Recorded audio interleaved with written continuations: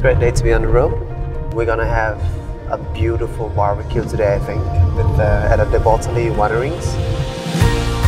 Wood-fired wine and also a wood-fired barbecue, so very exciting. Hey, nice to meet you. Yeah, nice to meet you too. Okay. Hi, nice to meet you. Yeah, nice to meet you too. Let's uh, head in. So I'd like to introduce you to Kate, who's my daughter and one of the winemakers.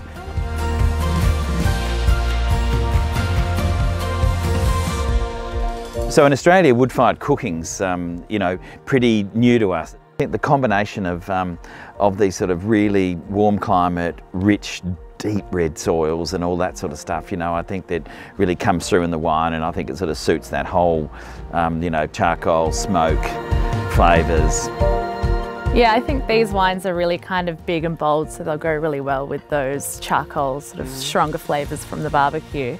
But it also is, I do love it because it is really soft and round at the mm. same time and quite plush. I'm actually quite curious how this is gonna go with the Vietnamese marinade and everything like that too. Cheers. Cheers. So thanks very much for picking up the meat. So this, um, you know, was some uh, some locally grown beef. It's probably some of the best beef we've ever tried.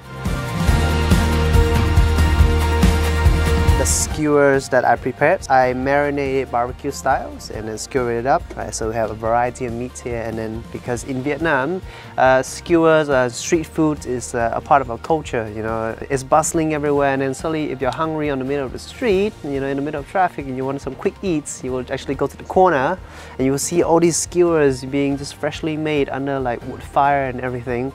And the way we marinate our beefs and uh, our porks, it would pair beautifully with the wood fire range. So I thought maybe taste the taste the Cabernet first. For me, Cabernet is one of those varieties that's got a little bit more tannin than Shiraz and uh, still big and rich, Yeah. but it's got this sort of dryness about it, which I think is lovely.